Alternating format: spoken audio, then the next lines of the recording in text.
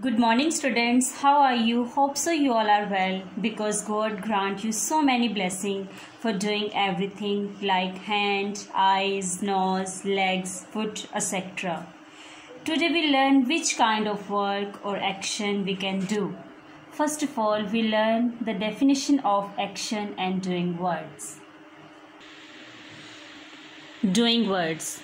Words that tell us what something or somebody does are doing or action words. Now we will do some action words. Write.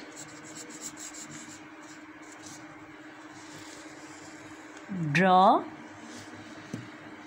Pick up. Erase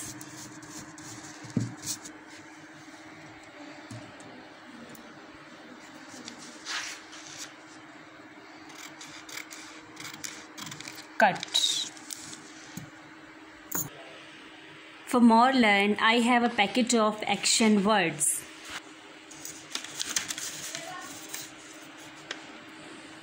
Write,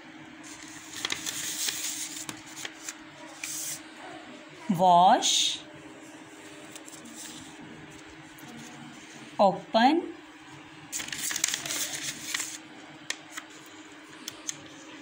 clap,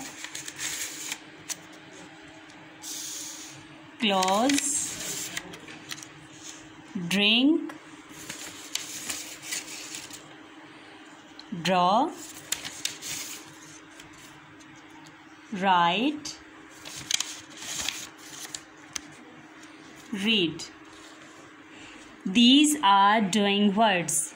You must be right and learn these words on your notebook. Thank you.